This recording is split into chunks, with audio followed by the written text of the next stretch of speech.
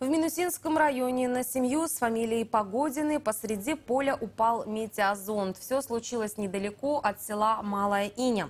Супруги отправились за грибами, и когда вернулись, увидели, что возле их машины лежит белый шар. К нему была привязана коробка из пенопласта с различными датчиками, из которой доносились странные звуки. Находку жители Минусинска забрали с собой, чтобы показать сотрудникам МЧС.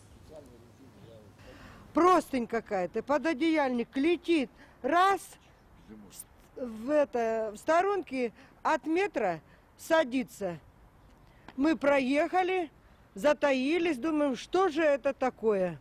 Потом, значит, выходим из машины, муж побежал к шару. Шар огромный.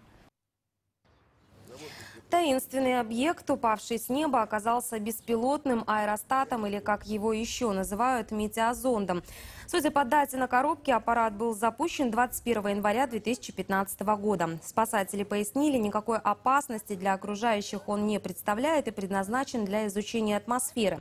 Прибор позволяет измерять давление воздуха, влажность и температуру. Метеорологи говорят, часто медиазонды принимают за НЛО. Однако на самом деле аэростаты – оборудование одноразовое и недорогостоящее. Если на вас неожиданно приземлился метеозонд, не пугайтесь, а оставьте это чудо-находку себе на память. Радиозонд и оболочка, они уже разового использования, и они абсолютно безопасны, можно оставить себе, либо просто утилизировать.